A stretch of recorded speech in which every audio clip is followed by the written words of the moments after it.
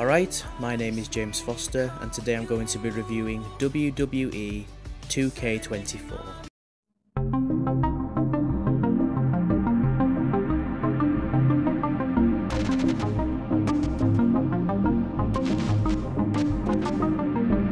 Fighting backstage has always been one of my favourite things ever to do in WWE games, and they really improved it this year, so I'm just going to show a few things here and stop talking because the stuff you can do is excellent.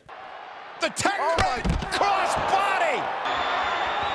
A display of force! Oh, no! For me, stuff like that reminds me of the old WWE games. I used to play SmackDown vs Raw 2011, so to do something like this, again, in the modern day WWE games, is really cool. Backstage is always fun, but unfortunately, it gets old pretty quickly because of your limitations. You can't enter the office, but you can give your opponent an Irish whip and break all the office windows. Oh god, right through the window! I do appreciate how many different things you could do in this year's game. Look at how far I threw that chair. I thought it was some kind of a glitch, but no, you can actually throw chairs from a great distance, and this is really fun to do. The brutality in these games is definitely back, however be careful because your opponent can counter the chair throw. There's other things too, like suplexing your opponent off the announce table. Also, you can climb on the table again, which is a feature that was unfortunately out of WWE games for some time, but I'm glad it's back. You can also interact with the water, you can pick it up and hit your opponent with it, which is a feature that I've never seen before. Players will also be happy to know that we're not getting the same old same old this year, we've actually got some new match types, but I think I'll just focus on the one. Let's talk about the casket match. The casket match is excellent, and you can actually use it as a weapon and hurt your opponent with it, which is pretty fun to do.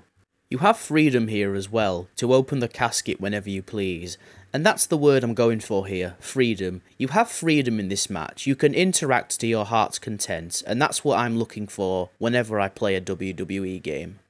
The footage I'm showing you now was actually the first time I played the game, and I think they're headed in the right direction. This is how it should be every year. There is room for improvement always, but keep doing this, WWE. This is what we want. The last thing I'll say is there is a few ways you can get your opponent in the casket. When you've gone over the rope, you can actually close the lid while you're on the apron, and this is accurate as well, because The Undertaker actually did win some casket matches that way.